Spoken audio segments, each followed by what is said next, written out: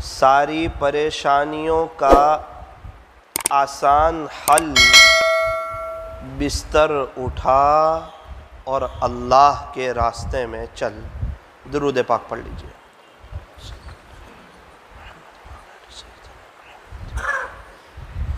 बुज़ुर्गान मोहतरम और अज़ीज़ नौजवानों, मदीना मुनवरा में एक बुज़ुर्ग का अक्सर फजर की नमाज़ के बाद बयान होता है। उस बयान में वो बहुत सी मरतबा ये शेर पढ़ते हैं, फ़िक्र नबी जिसके सीने में है, फ़िक्र नबी जिसके सीने में है, वो मदीने में न होकर भी मदीने में है। कि अगर किसी के सीने में नबी वाली फ़िक्र है, नबी वाला दर्द है, नबी वाला गम है, नबी वाली कोड़न है, जो उम्मत के लिए तड़पता है, उम्मत के लिए कुड़ता है, उम्मत की फ़िक्र करता है। मौलाना मैं तो यहाँ पाँच छः मुलाकातें करता हूँ। अरे, बात उसकी नहीं है। फ़िक्र कितनी है? दर्द कितना है? तड़प कितनी है? फ़िक्र के बकदर अल्लाह काम लेते हैं, तड़प के बकदर अल्लाह काम लेते हैं, दर्द के बकदर अल्लाह काम लेते हैं। अल्लाह ताला तो दिलों को देखते हैं। अगर एक आदमी से मुलाकात हो, लाख से मुलाकात हो, हिदायत तो हमारे हाथ में है ही नहीं। हिदायत तो अल्लाह के हाथ में है। यूँ फरमाया, हमारे बस में तो मेहनत है, कोशिश है, नतीजा नहीं। हम मेहनत के मुकल्लफ हैं, हम कोशिश के मुकल्लफ हैं। फरमाया, नतीजा अल्लाह के हाथ में, हिदायत देने वाली ज़ात, फरमाया, वो अल्लाह की है, अल्लाह जिसको चाहे उसको हिदायत दे दें। अल्लाह हिदायत देने पर आए तो हज़रत बिलाल हबशी रज़ी अल्लाह को हिदायत दे दें। और हिदायत न देने पर आए तो हुजूर के चचा अबू लहब को हिदायत न दें। हिदायत देने पर आए तो दूर से आए हुए सलमान फ़ारसी रज़ी अल्लाह को हिदायत दे दें। और हिदायत न देने पर आए तो मक्का मुकर्रमा के चौधरी, मक्का मुकर्रमा के लीडर अबू जहल को हिदायत न दे। तो फरमाया, हिदायत देने वाली ज़ात सिर्फ़ और सिर्फ़ अल्लाह की है। वो जिसको चाहे उसको हिदायत दे सकता है। हमारे नबी मेहनत कर रहे हैं, सहाब किराम मेहनत कर रहे हैं, कोशिश कर रहे हैं। और उसके नतीजे में अल्लाह हज़रत वहशी रदी अल्लाह को कबूल फरमा रहे हैं। हज़रत वहशी को। जिन्होंने हज़रत हमज़ा रदी अल्लाह को बरछा मारा था, जिससे हमारे नबी को बहुत तकलीफ़ हुई थी, आपको बहुत दर्द हुआ था। लेकिन मुकद्दर में उनके हिदायत है, अल्लाह को देना है, और अल्लाह जिसको हिदायत देने पर आए, दुनिया की कोई ताकत फिर उसको रोक नहीं सकती। हज़रत वहशी को हिदायत दे दी, और हिदायत भी कैसी दी कि हज़ारों मौलाना इलियास साहब रहमत रहमत मिलकर एक वहशी रज़ी अल्लाह का मुकाबला नहीं कर सकते। उनके लेवल तक नहीं पहुँच सकते। हज़ारों मौलाना इलियास साहब रहमत मिल जाए। अभी पूरी दुनिया के जितने बुजुर्गान दीन मिल जाए, वो हज़रत वहशी रज़ी अल्लाह के लेवल को नहीं पहुँच सकते। चूँकि वो हुजूर के सहाबी है। ये अल्लाह की अपनी शान है। कब किसको कितना ऊँचा मकाम दे दे, कब किसको कितना ऊँचा मर्तबा दे दे। अवैस करनी बड़ा ऊँचा मकाम है, माँ की खिदमत की है। उसके बावजूद आप अगर पूछो तो मकाम हज़रत वहशी का बलन है। हज़रत वहशी रज़ी अल्लाह का मकाम बहुत ऊँचा। क्योंकि अल्लाह ने यूँ फरमा दिया रज़ी अल्लाह अल्लाह उनसे राज़ी है, इसका मुजदा सुना दिया, इसकी खुशखबरी सुना दी कि अल्लाह सारे सहाबा से राज़ी है। उनमें हज़रत वहशी रज़ी अल्लाह भी आ गए। और इस्लाम का एक अजीब कायदा है अल इस्लाम यहदिमन कान कबला। जो शख्स इस्लाम लाता है, अल्लाह उसके पिछले सारे गुनाहों को माफ़ फरमा देते हैं, सारी उसकी ख़ताओं से अल्लाह दरगुजर फरमा देते हैं, सब माफ़। क्या हुआ? फरमाया कि कलीमा पढ़ा। कलीमे के अंदर इतनी तासीर है कि बंदा कलीमा पढ़ता है, ईमान लाता है, अल्लाह का हो जाता है तो अल्लाह पाक पिछले सब माफ़ फरमा देते हैं। तो मैं ये अर्ज़ कर रहा था कि हमारे ज़िम्मे तो फ़िक्र है, कोशिश है, कुड़न है, तड़पना है, दर्द, आह, आहें भरना है, अल्लाह के सामने हाथ फैलाना है, मन्नत समाजत करना है। हमारे नबी को तकलीफ़ पहुँच रही है, लेकिन अल्लाह को हिदायत देनी है। तो अल्लाह ने हज़रत वहशी रज़ी अल्लाह को हिदायत दे दी। हमारे नबी की पूरी चाहत है कि मेरे चचा अबू तालिब को ईमान मिल जाए। पूरी चाहत है, कोशिश है। कह रहे हैं, चाचा, मेरे कान में तो कह दो, कान में तो पढ़ लो कलीमा।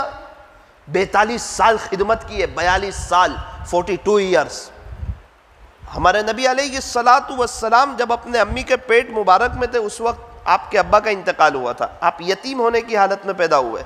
अलम यजिद का यतीम फ़ावा छः साल की उम्र में आपकी अम्मा का इंतकाल हुआ था। अबुआ मकाम पर, बीबी आमिना का। और आठ साल की उम्र में आप किफ़ालत में आए थे अम्मी के बाद दादा की, अब्दुल मुत्तलिब की। उनका इंतकाल हुआ आठ साल की उम्र में। सीरत की किताबों में लिखा है कि जब दादा का जनाजा उठा, आप जनाजे के पीछे चल रहे थे और आपके आँखों में आँसू थे। न अब्बा है, न अम्मी है, न दादा है। और इसके बाद जो हमारे नबी किफ़ालत में आए, वो अबू तालिब की। और अबू तालिब ने हर मुमकिन कोशिश कर ली। हमारे नबी के पीछे जान लगाई, माल लगाई, वक्त लगाया, सलाहियत लगाई कि कोई है जो मेरे भतीजे को तकलीफ़ पहुँचा कर बताए, कोई है जो मेरे भतीजे की तरफ़ नज़र उठा करके बताए, कोई है जो मेरे भतीजे की तरफ़ आँच करके बताए। और ये हज़रत अली रज़ी अल्लाह के वालिद साहब है, अबू तालिब रज़ी अल्लाह अबू तालिब, हज़रत अली रज़ी अल्लाह के वालिद साहब है। और हमारे नबी जब 25 साल की उम्र को पहुँचे तो हमारे नबी का जो निका अम्मा खदीजा के साथ हुआ था, वो भी अबू तालिब ने पढ़ाया था। तो बहुत सी खूबियाँ हैं और बहुत सी चीज़ें हैं और नबी के ख़ानदान से चचा हैं नबी के। अब्दुल मुत्तलिब के बेटे हैं। फिर क्या है? कहा, अल्लाह को नहीं देनी थी हिदायत। तो नबी के चाहने के बावजूद, नबी के समझाने के बावजूद, नबी की तड़प के बावजूद, नबी की कुड़न के बावजूद अल्लाह ने अबू तालिब को हिदायत नहीं दी। और वाशी रज़ी अल्लाह ने दिल दुखाया है, लेकिन हिदायत देनी है अल्लाह को तो अल्लाह ताला ने हज़रत वाशी को हिदायत दी। अच्छा ये कभी कभार होता है। आमतौर पे ऐसा होता है कि जिसके बारे में हमारे नबी की चाह तो अल्लाह उसको कबूल कर लेते हैं। ये आम होता है। और जिससे हमारे नबी नाराज़ हो, अल्लाह उसको दूर फेंक देते हैं। लेकिन कभी कभार अल्लाह ताला अपनी कुदरत बताते हैं कि देखो, मेरे मुकाबले का कोई नहीं, मेरे लेवल का कोई नहीं, मेरी बराबरी का कोई नहीं, सब मेरे बंदे हैं, ये सब अब मेरी मखलूक है और खालिक तो मैं ही हूँ। और मैं जो चाहूँ वो कर सकता हूँ। मेरे को कोई दबा नहीं सकता कि कोई समझा कि अल्लाह को दबा ले, इसलिए फरमाया, ना ना, ऐसा नहीं होगा। इसीलिए फरमाया कि मांगना है, डायरेक्ट अल्लाह से मांगो। वास्ते की ज़रूरत है? फरमाया, अरे, मांगो ना अल्लाह से, अल्लाह देने वाला है। मांगो उसी से जो दे खुशी से और न कहें किसी से। दुनिया वालों से मांगो तो दुनिया वाले नाराज़ और अल्लाह से ना मांगो तो अल्लाह नाराज़। वो तो दे के खुश होता है, मांगने वालों से प्यार करता है। अरे डायरेक्ट मोबाइल से बात कर लेते हैं, इंग्लैंड, अमेरिका, पनामा, ऑस्ट्रेलिया। तो अल्लाह ताला तो शहर रख से भी ज़्यादा करीब है। अल्लाह ताला तो शहर रख से भी ज़्यादा करीब है। अफसोस इस बात का कि अभी तक ये फासला तय न हुआ। प्यारे नबी ने फरमाया, खुलासा, जूते का तस्मा भी टूट जाए तो अल्लाह से मांगो। कि यूँ फरमाया, वास्ता बना के अल्लाह से मांगो तो ही अल्लाह देगा, वरना अल्लाह नहीं देगा। अल्लाह इस पर कादिर नहीं है। कोई तुम्हारी सिफारिश करेगा ना, तब देगा, वरना अल्लाह नहीं देगा। ऐसा बोला? ना ना ना ना ना ना।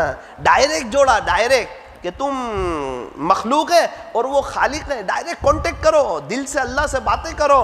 अरे यार, दूर दूर के लोगों से व्हाट्सअप से डायरेक्ट कांटेक्ट कर लेते हो। तो अपने अल्लाह को याद करो, अपने अल्लाह को दिल में बसाओ। अल्लाह इकबाल ने कहा, औरों के दरबार से क्यों मन्नतें माँगता है ए इकबाल? औरों के दरबार से क्यों मन्नतें माँगता है ए इकबाल? वो कौन सा काम है जो होता नहीं तेरे परवरदिगार से? ऐसा भी कोई काम है जो अल्लाह करने के लिए किसी का दबा हुआ है कि वो कोई बड़ी शख्सियत सिफारिश करेगी, फिर ही अल्लाह काम करेगा? फरमाया, ना ना ना। अल्लाह का कुरान कहता है इन अल्लाह अला कुल्ली शैन कदीर के बेशक तेरा अल्लाह हर चीज़ पर कादिर है। हर चीज़ पर कादिर कौन है? फरमाया कि तेरा अल्लाह है। बादशाहों का बादशाह कौन? फरमाया मालिकल मुल्क। अच्छा बादशाह देता कौन है? तो तिल मुल्क मंतशा वो जिसे चाहे उसे बादशाह दे दे। वह तंजिल मुल्क मंतशा और जिससे चाहे उसे बादशाह छीन ले। वो चाहे तो कभी फिरौन को बिठा दे, वो चाहे तो कभी मुगल के बादशाहों को बिठा दे, वो चाहे तो कभी किसी औरों को बिठा दे, वो बादशाह है, वो बादशाह देना भी जानता है, वो बादशाह लेना भी जानता है, वो मालदार बनाना भी जानता है, वो गरीब बनाना भी जानता है। अच्छा इज़्ज़त कौन देता है? मौलाना समाज के मुताबिक तो चलना ही पड़े, वरना बेइज्जती हो जाए। फरमाया, ना ना ना ना ना, समाज के मुताबिक नहीं, हुजूर के तरीक़ों के मुताबिक चल इज़्ज़त तेरे कदमों में डालूँगा। और हुजूर के तरीक़ों से हटा, बज़ाहिर तो ते कोई इज़्ज़त लगेगी, लेकिन दुनिया में भी जलील होगा और मेरे दरबार में भी जलील होगा, अंदर से बेचैन होगा, परेशान होगा, डिप्रेशन का शिकार होगा, दो काम बनाने जाएगा, चार काम बिगाड़ूँगा, चार काम बनाने जाएगा, आठ काम बिगाड़ूँगा, तेरी ज़िंदगी तलखियों का शिकार हो जाएगी, वसअत वाले मकान के बावजूद ज़िंदगी तुझे कम लगेगी। एक आदमी कमाता था तो खर्चे ख़त्म नहीं होते थे, दो कमाएँगे तो भी ख़त्म नहीं होंगे, चार कमाएँगे तो भी ख़त्म नहीं होंगे। नबी के तरीकों से तू हटा तो चाहे तू जितनी कामयाबी तलाश करे, लेकिन आगे तुझे नाकामी, परेशानी, बेचैनी, हालात, डॉक्टरों के चक्कर और आमिलों की दौड़ धूप में लगा दूँगा। तेरा वक्त भी ज़ाय होगा, तू भी परेशान हो जाएगा, तेरी नस्लें परेशान हो जाएगी। और अगर तू मेरे नबी की तरफ़ आया तो तू सादगी की तरफ़ आया। थोड़े से मुआशरे वालों के, समाज वालों के ताने तुझे पड़ेंगे, लेकिन याद रखना, फलदार दरख्त पर ही पत्थर मारे जाते हैं कांटे वाले दरख पर कोई पत्थर नहीं मारता। अगर तू फलदार बनेगा, लोग पत्थर मारेंगे। तो इसका यह मतलब नहीं कि तू भी पत्थर मारे। फरमाया, ना ना ना ना ना। अगर कोई फलदार दरख्त पर पत्थर मारे और ये कहें कि भाई पत्थर मत मारो तो इस बात की अलामत है कि ये यूँ कहना चाहता है कि मैं कांटे वाला दरख्त हूँ, मेरे ऊपर कहाँ मार रहे हो? अरे भाई, बाहर उसी की बात होती है जिसके अंदर कोई बात होती है। फजूल आदमी की बात नहीं होती। हमारे नबी ने जब नबूत का ऐलान किया तो पूरे मक्का में हमारे नबी का चर्चा हो गया। दुश्मन होने वाले दुश्मन होने हुए, चाहने वाले चाहने लगे, लेकिन आका ने काम नहीं छोड़ा। तो फरमाया, दाई, किसी भी हाल में काम न छोड़े। बारिश की सीज़न हो, गर्मी की सीज़न हो, ठंडी की सीज़न हो, अबे बारिश बहुत है तो आज गश नहीं करूँगा। फरमाया, ना ना ना ना ना, दाई सीज़न से मुतासर नहीं होता है। इसीलिए दाई चीज़ों से भी मुतासर नहीं होता है। फदाई का काम तो यह है कि नबी वाले अखलाक को अपनाएँ और मोहब्बत और इज़्ज़त दे सामने वाले को प्यार दें। हकारत की नज़र से ना देखें, मोहब्बत की नज़र से देखें। डॉक्टर के पास जितना बड़े लेवल का मरीज़ आता है, डॉक्टर उसको इतना प्यार देता है, न ये कि हकारत से देखता है, नफरत करता है। अगर डॉक्टर हकारत से देखेगा, नफरत करेगा तो दवाखाना खाली हो जाएगा। और अगर डॉक्टर हमदर्दी बताएगा तो पेशेंटों की लाइन लग जाएगी। इसलिए फरमाया कि जो दाई अल्लाह की मखलूक में से किसी को हकीर नहीं समझेगा, अपने आप को नेक नहीं समझेगा, बल्कि अपने आप को बड़ा गुनेगार समझेगा, जिसके पास जाएगा, उसको अच्छा इंसान समझेगा और हमदर्दी और खैर खाई बताएगा। अल्लाह पाक इससे बड़े पैमाने पर काम लेंगे। मोहब्बत और इज़्ज़त बहुत बड़ी चीज़ है। इंसान जिसको चाहे उसको अल्लाह के रास्ते की तरफ़ उठा करके ले आए, मोहब्बत और इज़्ज़त की बरकत से। आसान तरीका है। हज़रत लुकमान हकीम फरमाते हैं कि बहुत बड़े हकीम गुजरे हैं। कुरान करीम में इनके नाम से पूरी एक सूरत है। फरमाते हैं कि मैंने मुख्तलिफ़ दवाओं से 300 साल लोगों का इलाज किया 300 साल। अरे, इतने बड़े हकीम, अल्लाह अकबर कबीरा। वो फरमाते हैं कि मैंने 300 साल मुख्तलिफ़ दवाओं से लोगों का इलाज किया। मगर इस तवील तजर्बे के बावजूद, मगर इस तवील तजर्बे के बाद मैं इस नतीजे पर पहुँचा कि इंसान के लिए सबसे बेहतरीन दवा मोहब्बत और इज़्ज़त है। किसी ने कहा, हज़रत, ये भी असर न करे तो मुस्कुराए और बोले, दवा की मकदार बढ़ा दो। किसी ने कहा, मोहब्बत और इज़्ज़त देवे, वो भी असर न करे तो? फरमाया, मोहब्बत और इज़्ज़त देने की मकदार बढ़ा दो।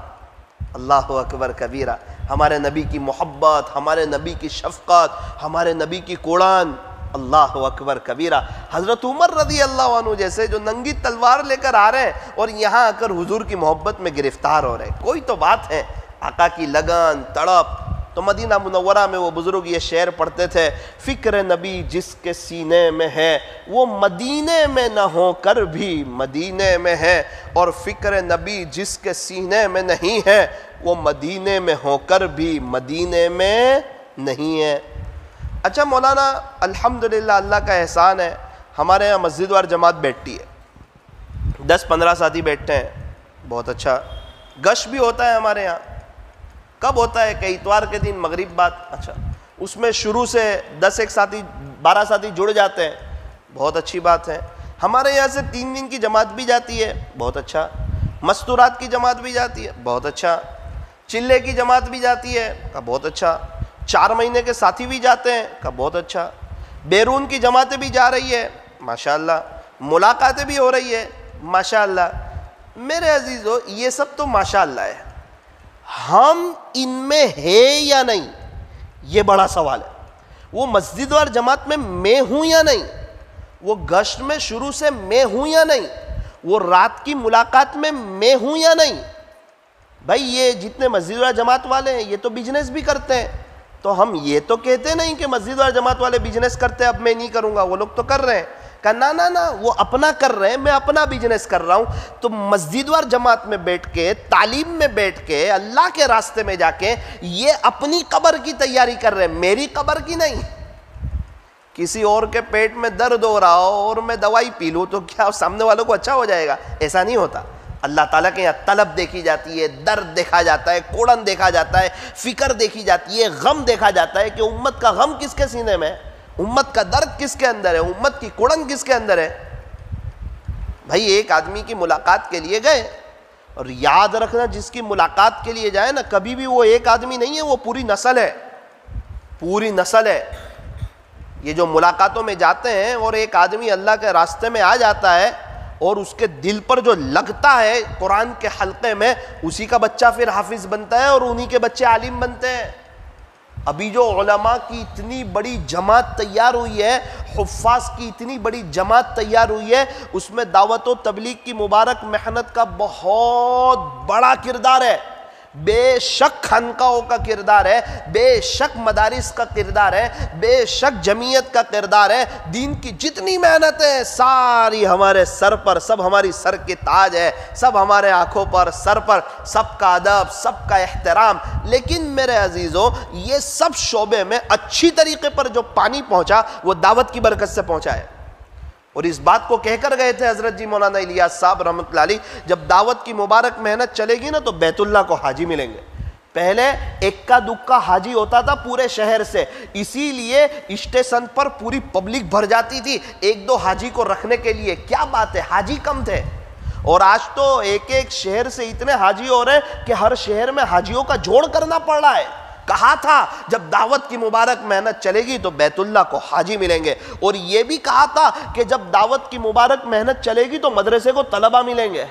और अभी मिल रहे हैं, मदरसे को तलबा मिल रहे हैं। हम लोग डाबेल में पढ़ते थे, एक बुज़ुर्ग का बयान हुआ, कहा कि, भाई, तुम में से कितने ऐसे हैं कि तुम्हारे बाप दादा तबलीग में लगे तो तुम मदरसे में पढ़ने आए? तो हम लोगों ने हाथ उठाया, नब्बे टका मजमा वो था कि जिसके बाप दादा तबलीग में लगे तो इनको भेजा मदरसे में। फरमाया था, जब दावत और तबलीग की मुबारक मेहनत चलेगी ना तो मदरसे को तलबा मिलेंगे। और ये भी कहा था कि जब दावत और तबलीग की मुबारक मेहनत चलेगी तो मशाइक को मुरीदीन मिलेंगे। ये तबलीगी हजरात ही आकर बैत हो रहे हैं, और दूसरा कोई थोड़ी आकर बैत हो रहा है। ये और बात है कि होना सबको चाहिए था। हो रहे बीस टका लोग, पच्चीस टका लोग, तीस टका लोग, आहिस्ता आहिस्ता वो लोग भी हो जाएँगे। लेकिन बैत यही लोग हो रहे हैं। कहा था कि जब दावत और तबलीग की मुबारक मेहनत चलेगी तो मशाइक को मुरीदीन मिलेंगे। हज़रत मौलाना इब्राहिम साहब देवला दामद बरकत अल्लाह हज़रत की उम्र में बरकत नसीब फरमाए।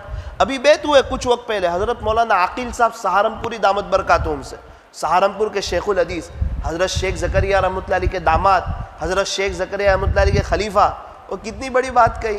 कहा कि हज़रत, मैंने पूरी ज़िंदगी अल्लाह वालों की रहबरी में गुजारी। आ हा हा इतना बड़ा आदमी कहता है। अब नहीं चाहता कि आखिरी उम्र की ये जो कुछ अयाम है, ये कुछ वक्त है, ये कुछ घड़ियाँ हैं, ये जो ज़िंदगी मेरी बाकी है, वो भी मैं किसी की रहबरी के बगैर गुजारना नहीं चाहता। आप मुझे बैत कर लीजिए। हज़रत को शर्मिंदा कर दिया, लेकिन बैत होकर आए। तो जब इतना बड़ा आदमी किसी अल्लाह वाले की रहबरी के बगैर ज़िंदगी नहीं गुजारता तो मैं और आप जैसे छोटे आदमी, हम तो कैसे ज़िंदगी गुजार सकते हैं? तो मैं ये अर्ज़ कर रहा हूँ कि दावत तबलीग की मुबारक मेहनत जो है, ये पानी की तरह है और पानी जो है ना, हर जगह जाएगा और पानी के ज़रिए से, पानी की बरकत से आबादी होती है। दावत तबलीग की मुबारक मेहनत आबादी के लिए है, बर्बादी के लिए नहीं है। दावत की मेहनत आबादी के लिए है। दावत की मेहनत बर्बादी के लिए नहीं।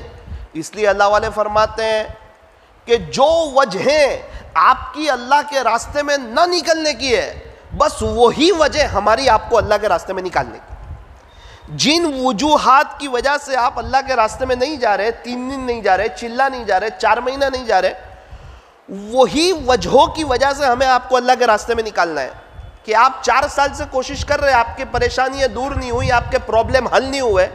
और मेहनत करते करते छः साल हुए, आपके प्रॉब्लम हल नहीं हुए। एक चिल्ला, एक चार महीने अल्लाह के रास्ते में जाकर भी देखो और हाथ फैलाकर भी देखो कैसे अल्लाह आपके प्रॉब्लम को हल करता है, कैसे अल्लाह आपके मसाइल को हल करता है। हमारे यहाँ नवसारी में एक आदमी अभी चिल्ला लगा कर आए बहुत परेशान हाल, बहुत ज़्यादा, पाँच साल से पिछले चिल्ला नहीं लगा। उन्होंने सोच लिया कि शायद मैं अल्लाह के रास्ते में वक्त नहीं लगा सकता तो अल्लाह ताला ने भी उन्हें तोफीक नहीं दी। अल्लाह ताला किसी का मोहताज नहीं है। कहते गश में तो बस हम ही दस होते हैं। अरे, शुक्र करो, आप है वो दस में, वरना अल्लाह आपका मोहताज नहीं है। एक आदमी को कहा, चलो ना भाई गश में, हम नहीं जाएँगे तो कौन जाएगा? तो जिम्मेदार साथी ने कहा, मैंने ठेका ले रखा है गश का। यूँ फरमाया, दस साल के तक उनको गश की नौबत ना हुई। तोफीक न दी, अल्लाह ने तोफीक छीन ली कि तू गश करके अपने आप को बड़ा साथी समझ रहा अरे, बादशाह किसी को कहे, पानी पिला दे और वो तकबर करें। कि मैंने बादशाह को पानी पिला शुक्र कर तेरा नाम लिया, वरना हज़ारों थे बादशाह के पास, किसी और को ले लेता। तो ये तो अल्लाह पाक जिससे काम ले, वो तो और तवाजु करे, वो तो और आजिजी करे। न ये कि बस्ती वालों से अपने आप को बेहतर समझे, हम तो दावत के साथी हैं। ना ना ना ना ना, अपने आप को और हकीर समझे कि मेरी बस्ती में ये भी थे, अल्लाह ने मुझ पर करम कर दिया कि मुझ नाचिज को कबूल कर लिया। वरना अल्लाह किसी और को खड़ा कर देता, वो मेरा मोहताज नहीं था। तो अभी चिल्ले में गए हमारे यहाँ के साथी, अभी आए मेरे पास।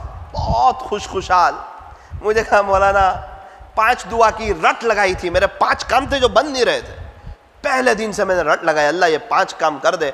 मैं आपको सही कह रहा हूँ, मेरे पाँचों पाँच काम अल्लाह ने कर दिए। अरे, जब मैंने कचबूच में चिल्ला लगाया, उसके बाद जो मैंने फ़ायदे देखे, वो मैं आपको बता नहीं सकता ये तो जो जाता है, उसको पता चलता है क्या फ़ायदा हो रहा है। सुनकर बात समझ नहीं आती है निकल कर समझ आती है। कुछ काम प्रैक्टिकली होते हैं। अभी मैं अखबार में देखूँ कि आग लगी हुई है तो आग की मालूम होगी गर्मी नहीं लगेगी? वो तो आग के करीब जाऊँगा, तब गर्मी का एहसास होगा। तो कोई अल्लाह के रास्ते के बारे में सुने हाँ इतनी देर उसको सुकून ज़रूर मिलेगा। अभी ये बातें चल रही है ना, दीन की बात चल रही है तो सुकून ज़रूर मिलेगा। लेकिन बाहर जाएगा तो फिर जैसी ज़िंदगी थी वैसी शुरू हो जाएगी। अगर दिल पे न लिया तो। और अल्लाह के रास्ते में खुद निकला। अल्लाह इज़्ज़त भी देगा, बरकत भी देगा, सुकून भी देगा और अल्लाह ताला दुआओं को कबूल भी फरमाएँगे।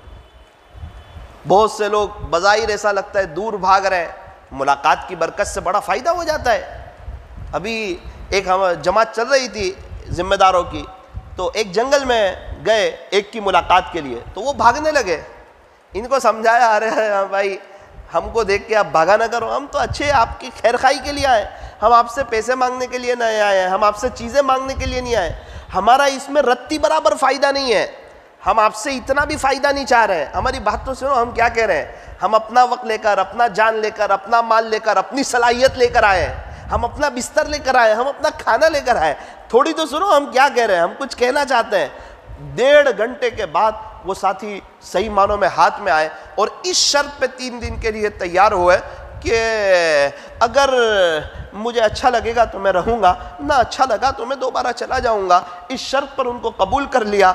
मेरा अज़ीज़, जब वो अल्लाह के रास्ते में आए और जब कुरान वगैरह के हल्के में बैठे होंगे और दिल पर बात लगी, घर जाके अपनी बीवी से कहने लगे तीन दिन के बाद कि हमारी ज़िंदगी तो गफलत में गुजर गई, कुरान शरीफ हमें आता नहीं, लेकिन हम अपने बच्चों को कुरान सिखा के रहेंगे।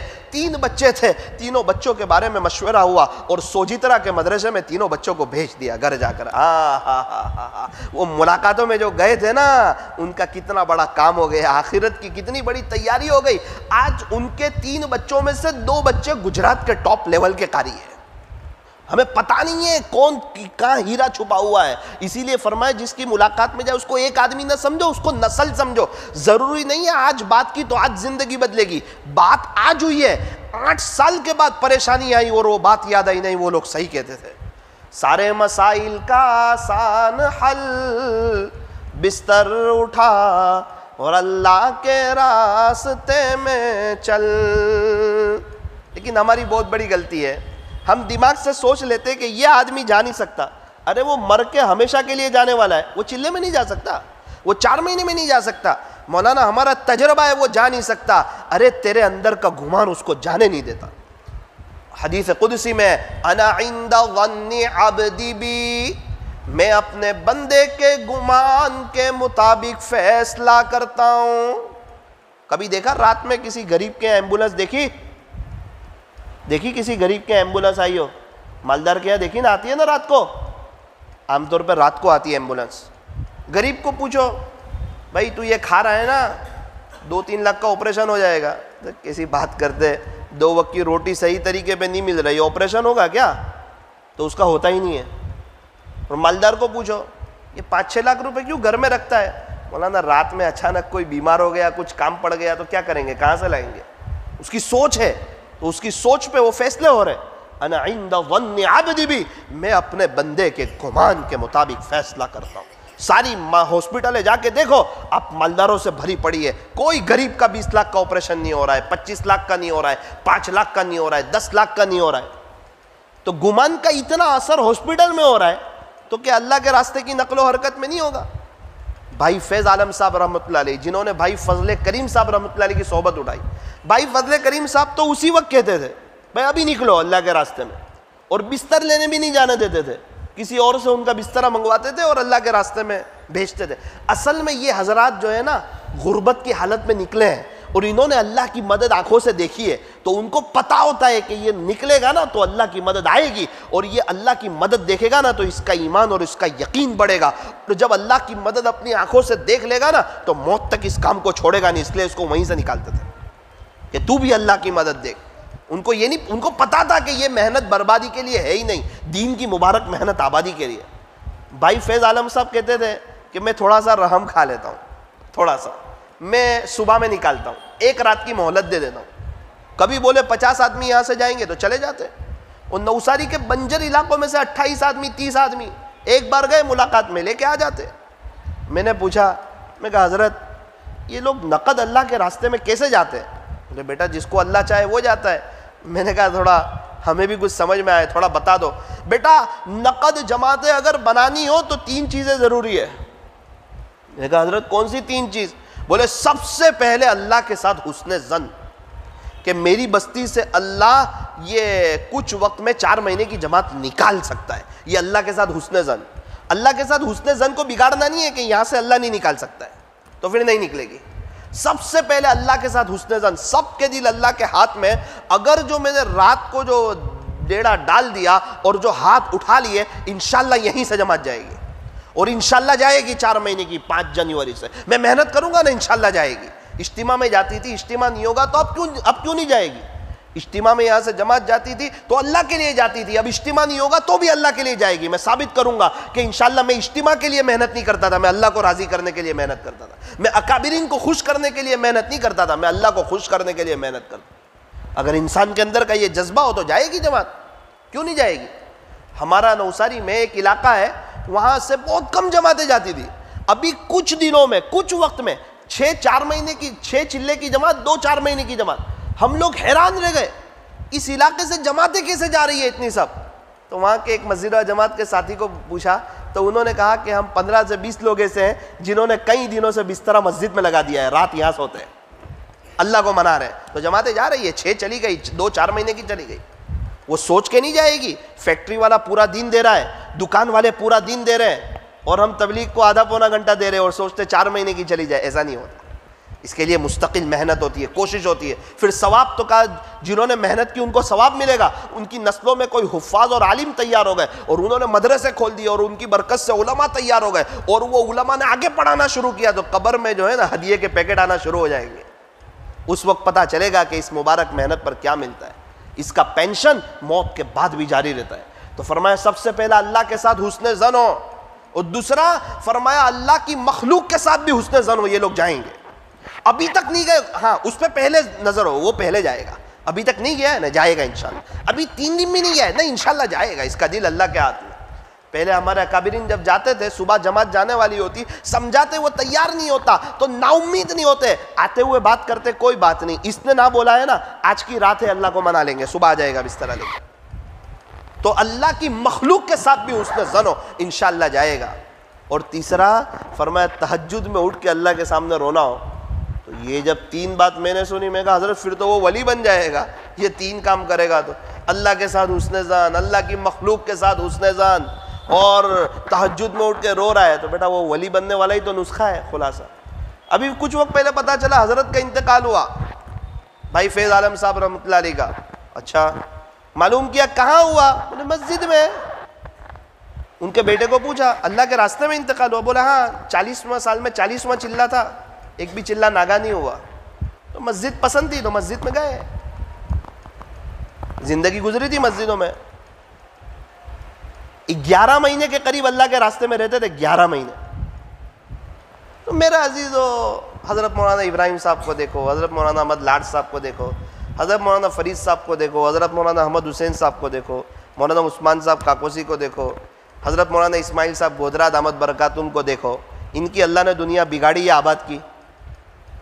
दुनिया भी कदमों में डाली, इज्जतों भरी ज़िंदगी दी, इन्हें देख के अल्लाह की याद आती है और इनकी बातों के अंदर तासीर पैदा कर दी, जहाँ जाए सबके दिलों में मोहब्बत डाल दी और अल्लाह आखिरत भी इनकी बना रहा है। हज़रत मौलाना इस्माइल साहब गोदरा दामद बरकत उनके पोते फरमा रहे थे कि दादा ने फरमाया कि दीन की बरकत से अल्लाह ने मुझे फोर्टी नाइन मरतबा बैतुल्ला शरीफ बताया, उन पचास मरतबा।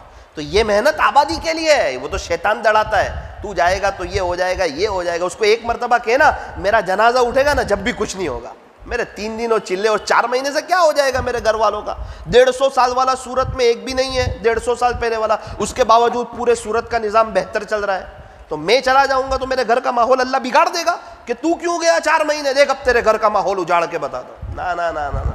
मेरे अज़ीज़ अजीज़ों तय करो इन कोई बैठे ना बैठे मैं मस्जिद जमात में बैठूँगा, कोई बैठे ना बैठे मैं गश में आऊँगा, कोई आए ना आए मैं तालीम में आऊँगा, मैं अपने घर में तालीम करूँगा, मैं अल्लाह के रास्ते में जाऊँगा, मैं महाना तीन दिन जाऊँगा, मैं सालाना चिल्ला जाऊँगा। तो मेरे अजीज़ों, अपनी तलब अल्लाह को बताओ इन अल्लाह ताला बहुत बड़ा काम लेंगे। और खुदा ना खास्ता, जो हमारे भाई इस काम से जुड़े हुए नहीं हैं, कभी भी उनको हकीर मत समझना। अगर उनको हकीर समझा तो अल्लाह सजदे की लज्जत से महरूम कर देंगे, मुनाजात की लज्जत से महरूम। मेरा एक बच्चा फरमा बरदार हो, एक नाफरमान हो, वो तो मेरा है, नाफरमान मेरा है, वो आपका नहीं है। आप में से कोई उसको नज़र उठा कर देखेगा ना तो बाप बर्दाश्त नहीं करेगा। तू कौन बच्चों को, मेरे बच्चे को देखने वाला? तू खिलाता है, तू पिलाता है, फिर तू के नज़र उठा के देखता है? अल्लाह का कोई बंदा उसका फरमा बरदार हो ना फरमान हो, वो सजा दे तो उसको हक है, लेकिन कोई और नज़र उठा कर देखे तो वो बर्दाश्त नहीं कर सकता। तू कौन मेरे बंदों को नज़र उठा करके देखने वाला? ए इंसान, तू किसी के ऐप को बेनकाब न कर। खुदा उसका हिसाब करेगा। तू उसका हिसाब न कर। तुझे इम्तिहान लेने के लिए नहीं भेजा, तुझे आखिरत की तैयारी के लिए भेजा है। मुँह देख लिया आईने में, पर दाग न देखे सीने में। जी ऐसा लगाया जीने में कि मरने को मुसलमान भूल गया। मेरे अजीज़ों तो हिम्मत करो, पहल करो, इरादे करो कि इन हम अल्लाह के रास्ते में वक्त लगाएँगे। दिल में बात आ रही हो तो हिम्मत से खड़े हो जाओ इन हम तरतीब बनाकर अल्लाह के रास्ते में जाएँगे। अभी जाएँ, नकद तो बहुत बेहतर है। अभी ना जा सके तो इन बहुत जल्दी जाएँगे। ऊठ बंदे, बाँध, कमर, क्या डरता है? फिर आगे आगे देख, अल्लाह क्या करता है? हम एक जगह तश्कील कर रहे थे। जोहर बात मुझे याद है, मेरी बात थी। चार महीने की तश्कील हुई। एक आदमी ने नाम लिखाया, भाई अजहर साहब थे, नाम लिखाया। कि इन मैं भी जाऊँगा। और रात में पता चला कि इंतकाल हो गया। जब उनके जनाजे के पास गया, मैंने कहा, भाई, बड़े खुश नसीब हो दुनिया से जाते जाते भी चार महीने का सवाब लेके चले गए। आपने तो नीयत कर ली इन मैं जाऊँगा और रात में जनाजा देगा कुछ कर ले इससे पहले, जबकि तेरे भी व्हाट्सअप पर इतना ला की जब तेरी खबर आए, उससे पहले अपने अल्लाह को राज़ी करने बताओ भाई, कौन साथी अल्लाह के रास्ते में वक्त लगाने के लिए तैयार है? कोई आजू बाजू में ना देखे। किसी को नहीं, अपने को देखो, मुझे जाना है। जिसको इरादा, वो खड़े होकर नाम लिखा है। एक मिनट के लिए खड़े रहें, एक डेढ़ मिनट के लिए। अल्लाह देख रहा है आप लोगों को। हम सबको देख रहा है अल्लाह। वो बड़ा खालिक है, वो मालिक है। दिल दिल में जो हजरात खड़े हुए, वो भी अल्लाह से बातें करें। अल्लाह आप मेरे लिए आसान फरमाइए। बहुत सुकून मिलता है इतमान मिलता है। और भी किसी के दिल में बात आ रही हो माशा अल्लाह पाक कबूल फरमाए। बैठिए और भी हमारे भाई हैं। काम ज़बरदस्ती का नहीं है, लेकिन आखिरत की तैयारी के लिए बहुत बड़ा फ़ायदा है। 120 तहजद 120 इशराक, एक खड़े होकर लिखाओ। 120 चाश 120 अवाबीन सुबहान अल्लाह सुबहान अल्लाह। 120 दिन तक, माशाल्लाह। ये तलब बताना अल्लाह को, ताकि फ़रिश्ते भी देख लें किसका इरादा है, किसने नाम लिखाया है। अल्लाह के दीन की मेहनत इंसान को कहाँ से कहाँ ले जाती है? बहुत बड़ी बात है। किसी को पता चले दुबई में चार महीने में दस लाख मिलेंगे तो फ़ौरन चला जाता है। घर वाले भी मान जाते हैं, दोस्त लोग भी मान जाते हैं, सब काम भी ठीक हो जाते हैं, तरतीब भी बन जाती है, दो दिन में चला भी जाता है। सबको समझा देता है, क्या बात है दस लाख मिलने वाले हैं चार महीने। और यहाँ चार महीने में इंशाल्लाह आखिरत बनेगी, अल्लाह का ताल्लुक़ मिलेगा। अगर दिल को थाम लेगा, इस चार महीने को दस लाख से बड़ी रकम समझेगा तो इसके लिए भी समझा लेगा घर वालों को। और कुछ भारी नहीं पड़ता, ज़िंदगी के कई चार महीने चले गए, पता भी नहीं चला। ये साल देखो ना, अभी दिसंबर चल रहा है। यही साल के तीन चार महीने चले गए, पता नहीं चला। एक आध चार महीने अल्लाह के लिए दे दे तो भी क्या हरज है? बहुत बेहतर है। मेरा भी अभी बैरून का इरादा है, आप मेरे लिए भी दुआ फरमाएँ।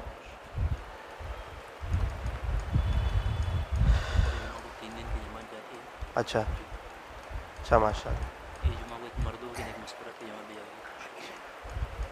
यूँ फरमा रहे कि तीन दिन की जमात जाती है तो इस जुमा को मर्दों की भी जमात जाएगी मस्तूरात की भी जाएगी। तो मर्दों की जमात वाले तीन दिन तो कम से कम हिम्मत कर ले कि ये तीन दिन जाके अल्लाह को मना कराएँगे। इन हमारे भी इस जुमा से तीन दिन है। लेकिन हम नौसारी से जाएँगे आप यहाँ से जाओ। बताओ भाई तीन दिन। हाँ माशा क्या नाम? अल्लाह कबूल फरमा हाफिज़ अशफाक साहब भी जाएँगे। आपका नाम? आसिफ भाई माशा आपका नाम? अल्ताफ़ भाई। शाकिर भाई माशा अबू हमज़ा माशा माशा क्या बेटा नाम? मोहम्मद सुबहान बहुत अच्छा। और भी हमारे साथी बताएँ। तीन दिन की पूरी जमात की एक शक्ल बन जाए। मौलाना तारिक जमील साहब जो उम्मत को मिले ना, वो तीन दिन की जमात से ही मिले। बहुत से अकाबरीन तीन दिन की जमात की बरकत से मिले। ज़िंदगियाँ जो चेंज हुई ना, वो तीन दिन। मौलाना जो इस यूनिवर्सिटी में पढ़ते थे, जो हॉस्टल में तो वहाँ से उनको तीन दिन की तश्कील से ही ले गए थे। वहाँ से वो आगे गए थे जमात में। वहाँ से एक आदमी ने कह दिया कि आप डॉक्टर बनने वाले क्या बेहतर हो कि आप हाफिज़ आलिम बन जाए? कहते वो बात मेरे दिल पे लग गई। वो जिसने कहा होगा, वो अभी कितना सवाब ले रहा होगा। मौलाना जितनी मेहनत करे, सबका सवाब वो एक जुमला बोलने वाला ले रहा है। उसके पास दर्द होगा तो अल्लाह पाक उसको सवाब दे रहे कभी कभार ऐसा होता है, इंसान को लगता है, मैं बड़ा काम नहीं कर पा रहा हूँ। लेकिन कोई एक ऐसी जल्ला चिंगारी उसकी लगा देते हैं और कोई आदमी ऐसा उसकी मेहनत से खड़ा हो जाता है, वो ज़िंदगी भर काम करता रहता है, इसका स्वाब वो लेता रहता है। अल्लाह के यहाँ दर्द देखा जाता है। उसने किस दर्द से कहा होगा कि मौलाना आप हाफिज़ हाफिज़ बन जाओ, अब आलिम बन जाओ। ये तो बस उसकी बात मेरे दिल पे लग गई। अच्छा उसकी बात कब समझ में आई? जब जिसने तीन दिन की तश्कील की थी ना, उसने जमात में निकाला। तो जमात की बरकत से पता चला आलिम कोई चीज़ है, बड़ी चीज़ है आलिम। तो वो जिसने जमात में निकालने की कोशिश की, वो कोई बंगाली आदमी था। उसका कितना बड़ा मरतबा होगा अल्लाह के यहाँ? और कितना बड़ा सवाब ले गया वो? उसने उस वक्त सोचा भी नहीं होगा कि मैं किसकी तश्कील कर रहा हूँ, क्या कर रहा हूँ। अगर हम भी कोई की बड़े नीयत से तश्कील करें, क्या पता वो या उसकी औलाद में कोई मौलाना तारिक जमील साहब जैसा निकला है। मुलाकात को नागा ना करो। थोड़े दिन पहले कजबूत से फ़ोन आया, एक साथी झगड़ा चलाता है। कहता है, मौलाना, जब तक मैं छः मुलाकात कर नहीं लेता हूँ, वहाँ तक सोता नहीं हूँ। क्या बात है? क्या दर्द है। दर्द है। छः मुलाकात नहीं करता हूँ, वहाँ तक सोता नहीं हूँ। तो तो जिसको अल्लाह के लिए मेहनत करना हो, कोशिश करनी हो, और अगर ये मकामी मेहनत ना हुई तो वही मस्जिद जमात के साथ ही वही रहेंगे गश के साथ ही वही रहेंगे, अमला नहीं बढ़ेगा। अगर मेहनत की तो इनशाला फ़ायदा होगा। तो तय करो इनशाला मेहनत करेंगे इनशाला कौन कौन नियत करता है कि मेहनत करेंगे इन अच्छा बस्ती वाले या हम? कोई नहीं आवे, मेरी शिरकत ज़रूरी है। ये तय कर लो, ये मेरा काम है। जिसने भी सोच लिया ना, मेरा काम है, उसके लिए दुकान पे जाना आसान फैक्ट्री में जाना आसान, नौकरी करना आसान, उसकी कोई तश्कील करने नहीं आता रोज़, उसने सोच लिया, मेरा काम है। फिर दुकान पे कोई आवे ना आवे, मेरे को जाने का है। तो इस तरह तबलीग के काम में कोई जुड़े ना जुड़े, मेरे को जुड़ने का है। मेरे को मेरे घर की तालीम करनी है। शिकायत है, बीवी बात नहीं मानती, बच्चे बात नहीं मानते, फिर भी अल्लाह का बंदा तालीम नहीं करता है। तालीम कर, अल्लाह का दीन समझ में आएगा ना तो तेरी फर्मा बरदारी भी समझ में आएगी और बच्चों की तरबियत भी समझ में आएगी। करोगे इन अल्लाह ताला हमें अमल की तोफ़ी अता फ़रमाए। अल्हम्दुलिल्लाह रब्बिल सल्लल्लाहु अला हबीबि मुहम्मद वालिहि वसल्लम। ला सुबहानक इन्ना कुन्ना मिनज़्ज़ालिमीन प्यारे अल्लाह, रहीम करीम, आका, अल्लाह हमारे गुनाहों को मुआफ़ फरमा। हमारी सयात को हसनात से मुबदल फरमा। ए अल्लाह, ईमान को मज़बूत फरमा। यकीन कामिल अता फरमा। यकीन के बिगाड़ को ख़त्म फरमा। नमाज़ में खुशू और खुजू नसीब फरमा। इल्म नाफ़, अमल कामिल अखलास ताम लाहीत मकबूलियत और महबूबियत अता फरमा। हर वक्त आपकी याद में रहने की, तस्बीहात का अहतमाम करने की, कुरान शरीफ की तिलावत करने की, मसनून दुआओं का अहतमाम करने की, अल्लाह हमें तोफ़ी व सदत नसीब फरमा। प्यारे न प्यारे, अल्लाह हमें अखलाक हसना नसीब फरमा अखलास की दौलत से माला माल फरमा। आपके रास्ते में वक्त लगाते रहने की तोफ़ी अता फरमा, तकाज़ों पर चलने की तोफ़ी अता फरमा। रब करीम, हमें समझा दीजिए कि ये एक ही ज़िंदगी है और वो भी फ़ानी है, ख़त्म हो जाने वाली है, यहाँ से खाली हाथ जाना है, सिर्फ़ जो नेक अमाल करेंगे वही साथ जाने वाले हैं। अल्लाह पाक ये मरने से पहले पहले समझा दीजिए।